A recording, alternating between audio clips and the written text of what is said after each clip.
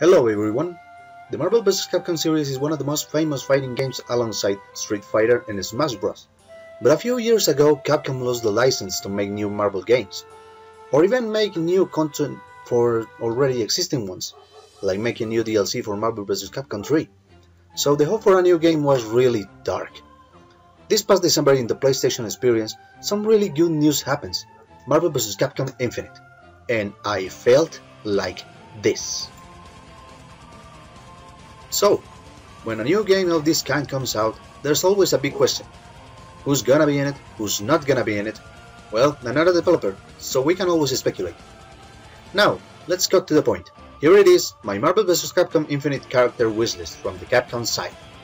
But I'm not making rules like one character per franchise, cause there's a lot of secondary characters that shine a lot by themselves, so I'm taking two or three characters, that is, if the game has them to begin with, also, characters that haven't been in the previous games. Returning characters will be for another time. Just games that I have played. Also, keep in mind that the order in which I talk about them doesn't affect me wanting in the game. So, let's get started.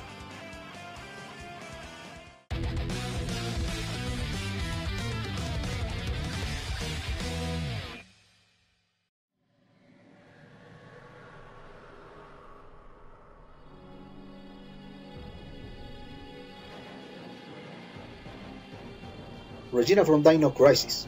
Yeah, I know the game is just like Resident Evil, with dinosaurs. The only difference is that Regina is a woman. Yeah, I'm a sucker for women as main characters. Regina could easily be a combination of Chris and Jill in certain aspects. To Chris for using normal weapons like handguns and shotguns and many different types of firearms, big and small, even melee weapons. To Jill would be to summon different types of dinosaurs, Edward Falcon and Rouge or Wang Tang. Power Stone once again. The base of the point is, she would be an awesome character to see in action once again.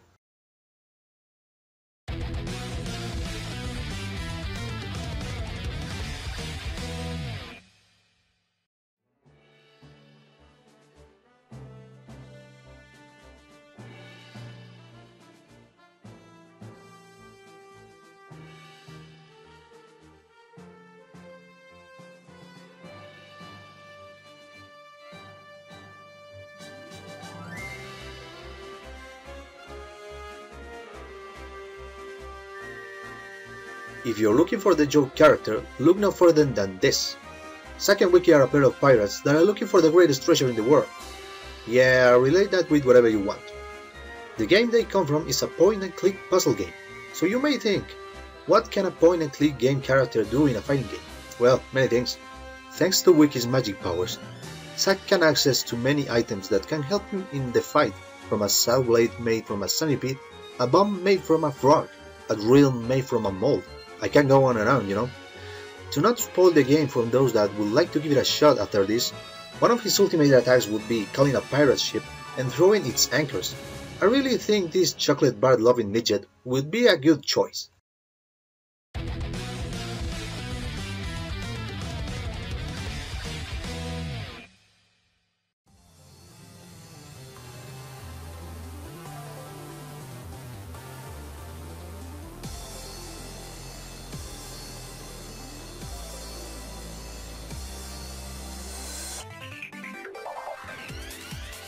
Gingira from EX Troopers.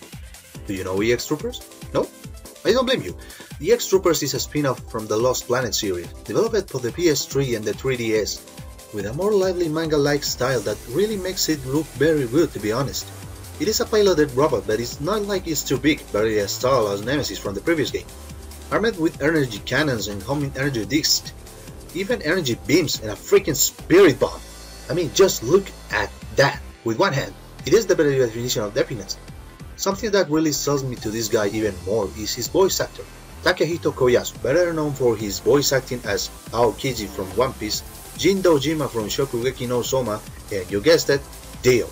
Heck, he even has his own Dio moments in here. So giving an opportunity to this guy would really make Capcom finally bring that game outside of Japan.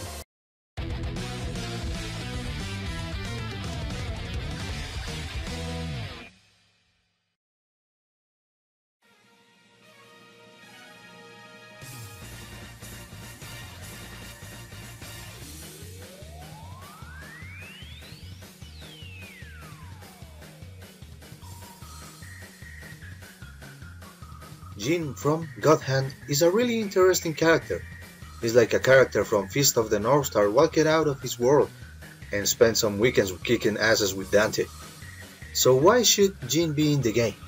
The base gimmick of God Hand was the roulette system, where Jean can perform a variety of moves, from simple ones like a flurry of punches or kicks and charged tackles, to shockwaves and freaking explosions. So all of his moves can be applied to a fighting game. Not only that, but the music within the game is really good. So hearing it in a fighting game would be really cool. All in all, Jean can be a good add to the game, and who knows, maybe he can be a god tier.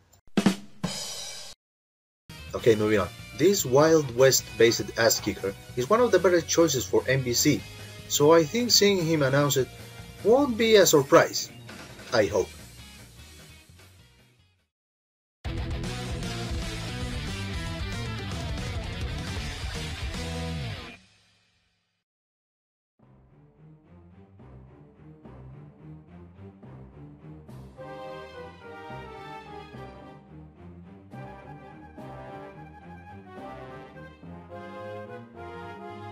Maximo is the main protagonist of Maximo Ghosts to Glory and Maximo vs. Army of Zin, a spin-off from the Ghost and Goblin series. So you may think that Maximo is just like Sir Arthur. Well, that's wrong. Unlike Arthur, Maximo only has his sword and shield and a hammer, so he is pretty limited with his arsenal. But, unlike him, he is more versatile and has some attacks that Arthur doesn't have, like a fire spin attack with the sword, an ice wave with the hammer, to name a few even throwing the shield like Captain America style. In the first game, the golden armor granted Maximo invincibility for 20 seconds, but in a fighting game that is just bullshit. So how about granting him super armor? You know, not getting knocked back from receiving damage and just deliver the pain. Also, in the second game, Maximo could summon none other than the Grim Reaper himself. So why not do that in the game as well? Calling Grim to deliver a devastating attack. I know Maximo is in a replacement to Sir Arthur, but another character from the franchise, I think it's a good choice.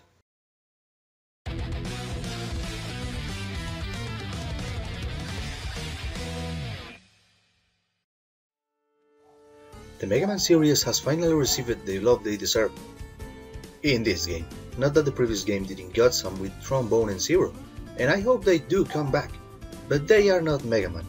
People want more, and I don't blame them but I can only facepalm when people can only think about wanting Protoman and Dr. Wily. Seriously? Is that as far as your imagination can go? A palette swap on Mega Man and a mad doctor that doesn't even fight, just uses other robots to make his beating? Come on, you can do better.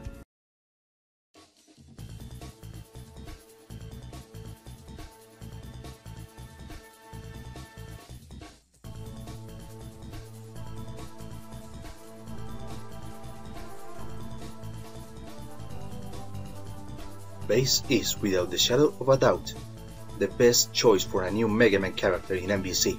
His theme, his attitude, even his treble boost, the special weapons from Mega Man and Bass, and move from the power fighters like his charge shot and his somersault are so good to not be looked out for. Like changing into his treble boost and doing all the attacks he performs in Mega Man 8. This is a chance that's really good to be ignored.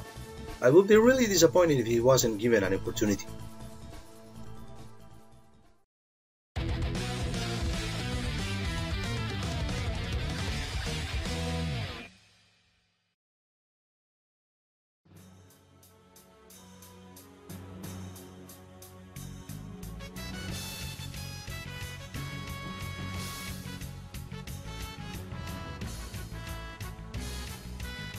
Mega Man is performing double duty in this list. You may call it cheap, but it's my video, and I don't care. I love Mega Man, and he is awesome, so fuck him. Another character that could be used in one of the most mysterious of the Mega Man series. I'm referring to Duo. This beefy giant hand robot could also be a good choice. He is basically a really agile tank, capable of transforming into a mirror and going insane with it. His explosion-inducing fist in the ground, a shoulder tackle, even a strange charge shot in the power fighters, even a devastating uppercut. I don't see why not he can be included. But yeah, Bass or Duo can be a real new Mega Man intrusion here. Also, he's deemed pretty badass. Even an alternate skin could be his original design.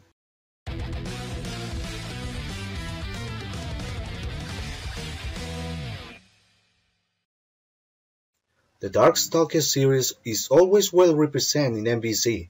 Morrigan, Felicia, Hsien-Ko, even Anakaris and B.B. Hood were in MVC too. But I think that still needs a little bit of manliness in here.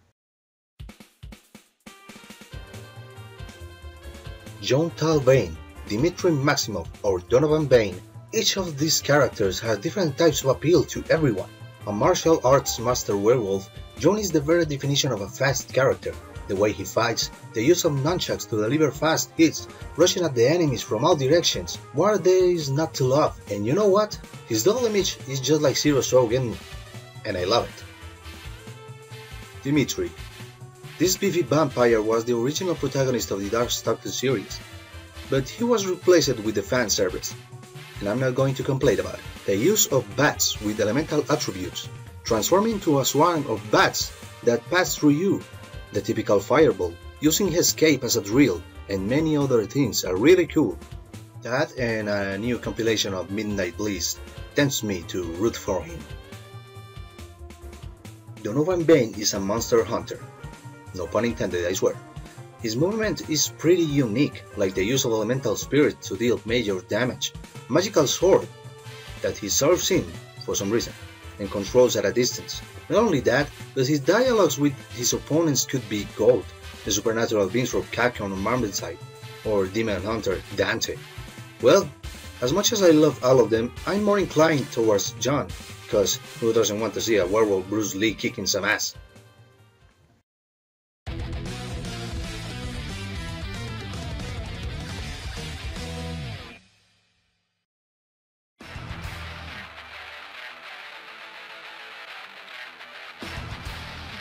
Yukimura Sanada, Date Masamune, or Oda Nobunaga from Sengoku Basara.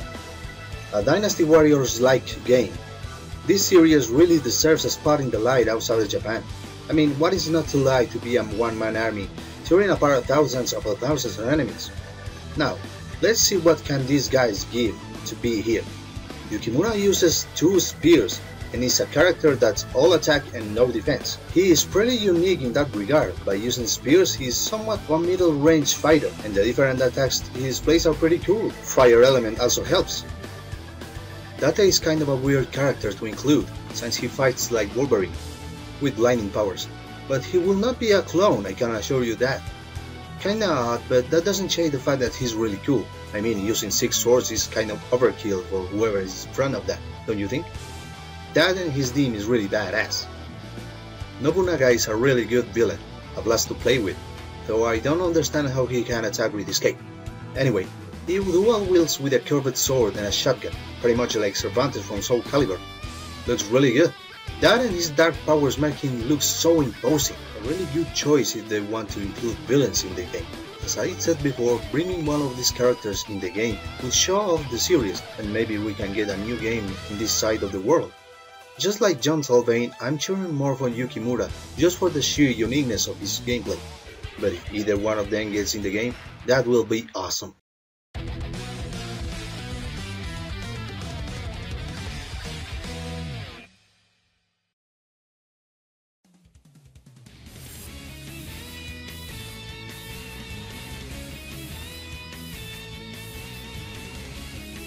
Batsu and Akira from Rival Schools for those who don't know, Rival Schools is a fighting game series that really took good use of the 3D, being one year younger than the first Street Fighter EX.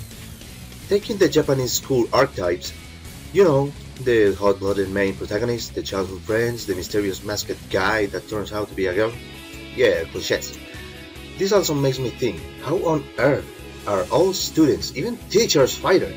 Meh, game logic, you can't reason with it. Batsu is the main character of the game. He has the fireball, typical of all these main characters. But that's it. Batsu is pretty awesome with a fire uppercut and a mirror diving kick. He can do pretty well in this game. Also, his hot-blooded yet innocent personality would give a good and hilarious dialogues to his opponents. As for Akira, a practitioner of mixed martial arts and a well-balanced fighter, she is by no means a bad character. She even has her own energy blast. Her Tai Chi way of fighting is kinda cool looking, Correct me if I'm wrong on that one. Her outfit is that of a biker with a school motif. I wonder how she would react facing Ghost Rider. One of the core gimmicks of rival schools was the use of a companion to perform a team attack. If this doesn't make a chance for these characters to be included now that the game is a 2-on-2 fight, I don't see what else can make it. The combinations are limitless, and yes, I know that Batsu has been in Tatsunoko vs Capcom.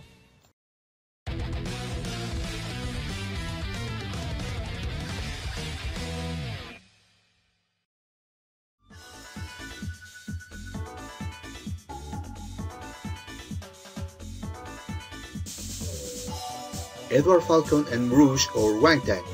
Power Stone once again is one of the forgotten treasures from Capcom, a party slash fighting game that consistently looking for jewels with incredible powers. You see where this is going? They were scattered in the field and once you got three, you change it into a super form to deliver some badass looking moves. Edward turned it into some kind of airplane robot which fires missiles in one or multiple directions, a fire uppercut Ken style, and controllable dash attack Rouge into a fire genie with flame powers and a hilarious raging demon-like attack. And Wang Tang, well, let's just say he's a homage to a certain super warrior race. So since MVC Infinite will have a story mode and the Infinity Stones are heavily involved, this is really a good chance to evolve them here. And yes, I know this is Ryoma's theme, but I don't give a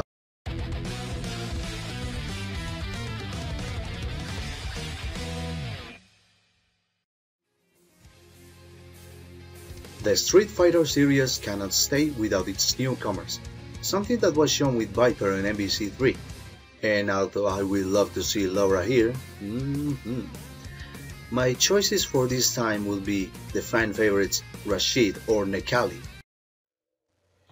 Necalli is a pure physical character with good speed and very interesting attacks, and his theme is one of the most intimidating in the series period.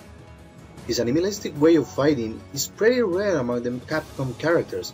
That and his V-Trigger is fantastic as a super attack. I really find it hard to ignore, using his claws to rip his opponent.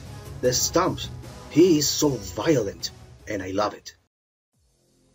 As for Rashid, he is a really good character by himself, always positive and looking for a good challenge. So how about challenging these kind of opponents, huh? His wind attacks are really unique in terms of elemental affinity in the Capcom side as well. Even in the main series, I never seen a wind user before, and I mean the element itself, Sonic Boom or the like doesn't count. Not only that, but who doesn't want to go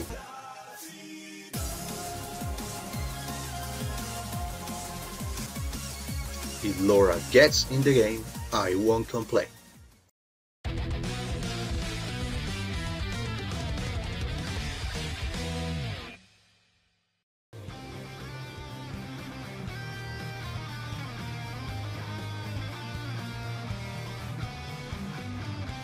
Hunter from Monster Hunter. In the previous game, no representation of the series was included, saying that because the main character is customizable, makes him impossible to represent. To that, I say bullshit. He can easily be put with the basic design. As for personality, basically too, a brave hunter looking for powerful monsters to defeat. There, the design is so varied, they can go heavy or light, male or female, detailed or simple. Also, this is a working arsenal talking about. Dual blades which I recommend for his main way of fighting. More on that later. Great sword, gun lance, switch axe, charge blade, insect blade, heavy bowgun. This guy is what we will call a jack of all trades, master of none. Not only that, but he could be OP too, thanks to the Hunter Arts. Ground Slash, Sakura Slash, Ground Force, and Shoryugeki. Bloodwind, Heck, even Energy Blade looks like a pretty good choice for a super attack, or even Swarm as an assisted super attack, Supernova as a long distance. The possibilities are endless with this guy. I really hope he or she is included. There was a fake leak not long ago, expecting Rathalos to be in it, but um, giant characters are so bad. I know they hit hard and all, but they are so slow and just have a big ass hit me in the face. Maybe that's why they don't choose them too much in Tatsunoko vs Capcom. The game has a story mode, so maybe as a mid-boss? To finish up this guy, I really wish the Monster Hunter gets a good representative in this game. Also, I don't like Palico as a player character. We have Rocket for that already.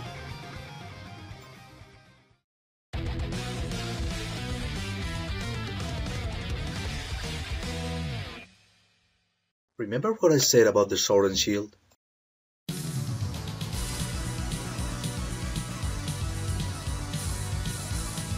Leo. This fusion between Conan the Barbarian and Aslan is one of the four main characters from the arcade Red Earth.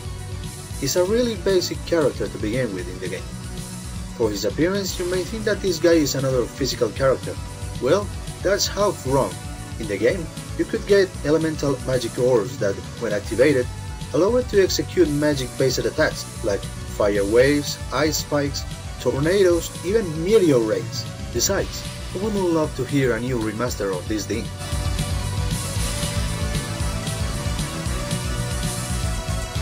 I know people would like Tessa for her magic powers, but with the confirmation of returning Doctor Strange, magic versus magic rivalry is kind of meh. So I think this badass lion man deserves a new chance to show the brawn over the brain. Also, this may help to bring the series back, or at least to the PSN, who knows.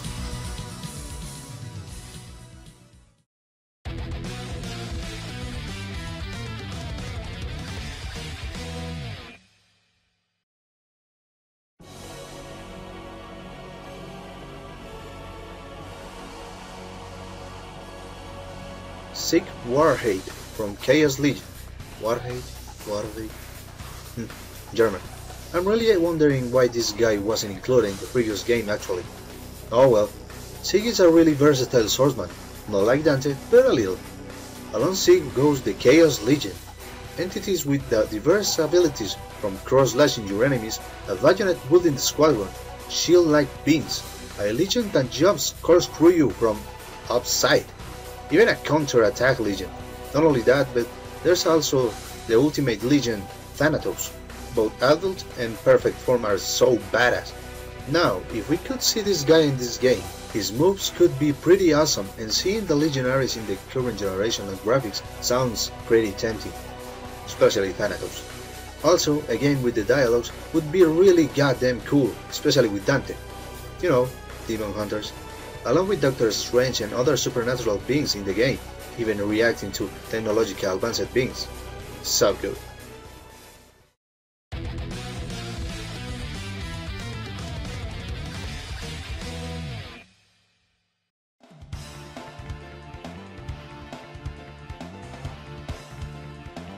Ryu from Breath of Fire. This series was so famous back in the day, capable of competing against Final Fantasy and Dragon Quest, until the 4th game. I know there's a lot of versions of Ryu, so let's be more specific. Breath of Fire 3 or Breath of Fire 4. 1 and 2 are okay, Breath of Fire 5 can go fuck itself. Ryu was going to be included in the previous game, according to rumors, but was rejected in the end. The reason?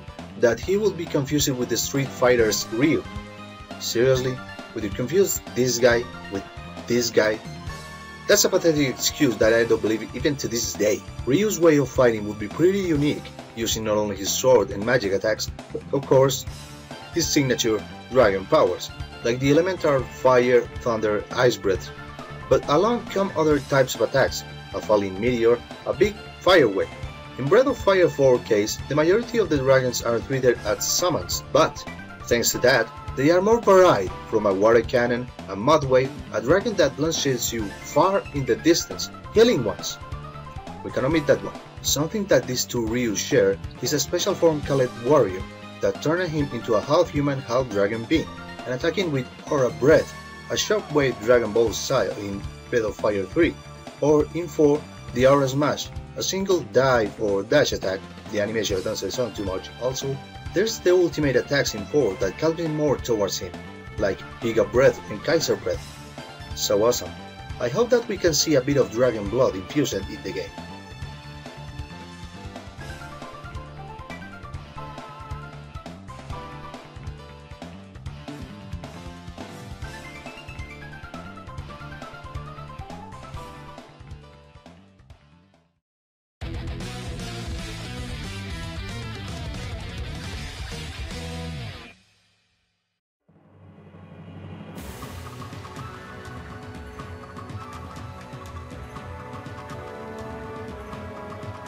Samanosuke Akechi from Onimusha, a really well-loved series that we're dying to see return. Armed with his trusty katana and a bow, Samanosuke is a samurai with various elemental powers, fire, wind, and lightning. Not only that, but in the third game he got to learn to dual wield and even use an axe. So it's not like he is underhanded. He can even turn into an Oni himself. Not that one. There we go. I know Soki from Onimusha Dawn of Dreams is more imposing. I mean, look at that. But the technicalities win here. And yes, I know Soki wasn't Tatsunoko vs Capcom, but Samanosuke wins me over since his story is longer and compelling to me. But if they include Soki instead, I won't complain.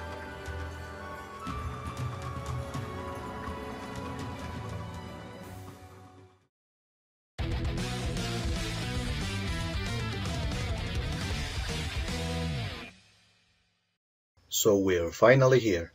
These are the final characters I wanted to talk about, and by process of elimination, let's get on with it.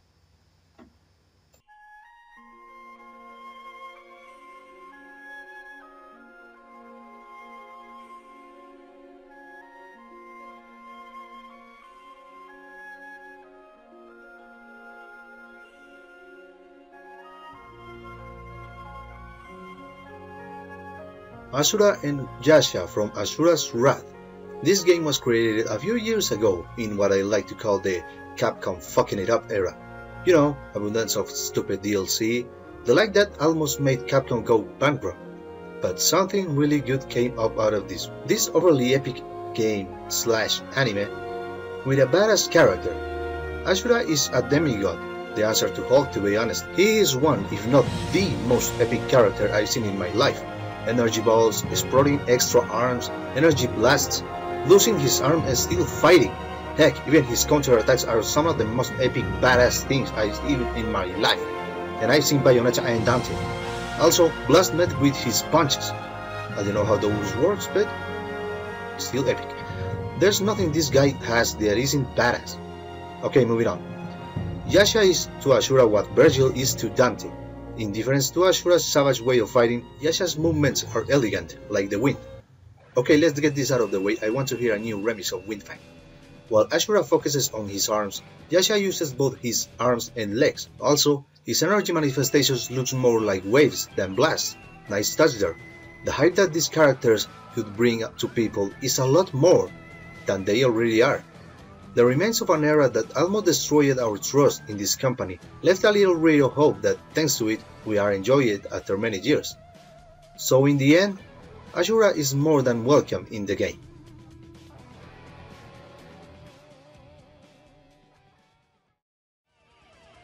I really want to see at least two or three characters that I have spoken about here.